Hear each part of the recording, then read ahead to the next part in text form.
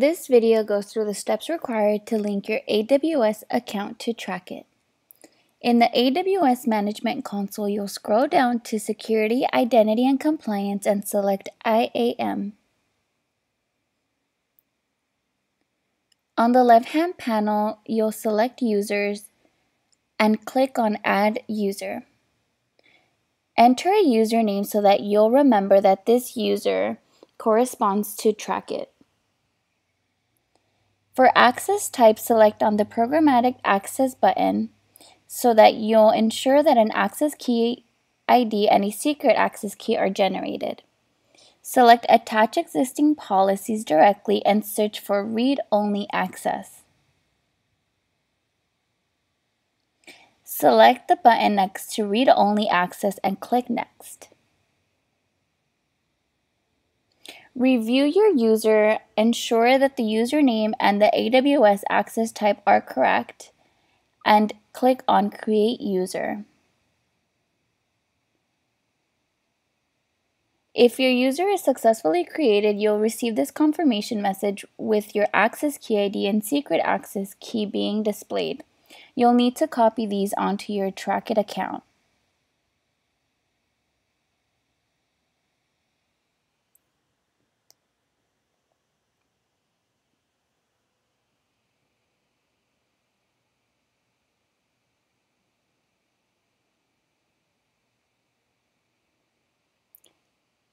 AWS gives you a chance to download the CSV files corresponding to your access key ID and secret access key ID. You can go ahead and download those now and save them for later.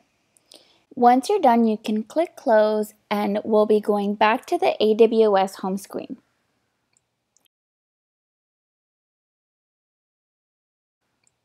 On the home screen, you'll go down to storage and select S3.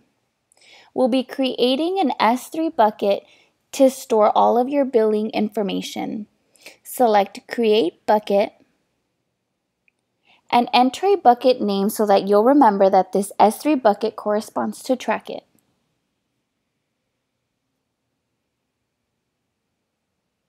Once you have chosen a name, you can now click Next.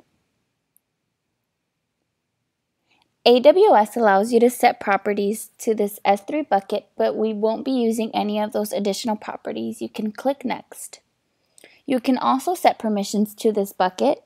Um, the one you want to focus on is on Manage Public Permissions. You want to make sure that you do not grant public read access to this bucket, and all other default permissions can be left as is. Now you can click Next. You can now review the bucket configurations and make sure that they are all correct. Once your bucket is created, you'll want to scroll down and click on the newly created bucket. We'll be adding permissions to this bucket to accept billing information. Select permissions and bucket policy.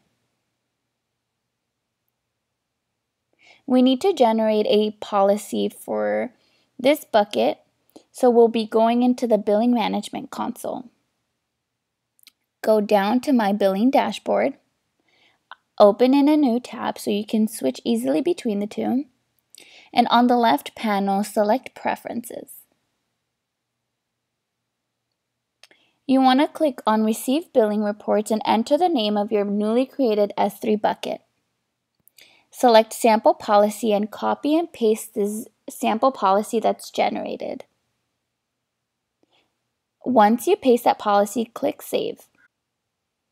Go back into the Billing Management console and verify that the bucket has the proper permissions. You'll get a green check next to the valid bucket. Now that you've successfully verified the bucket, you'll want to save the types of billing reports that you want to receive. You can click on all of these boxes and save preferences. Now that you have all the proper information, you'll want to enter that S3 bucket into Trackit. And you can give it a friendly name so that you'll know which key this account belongs to.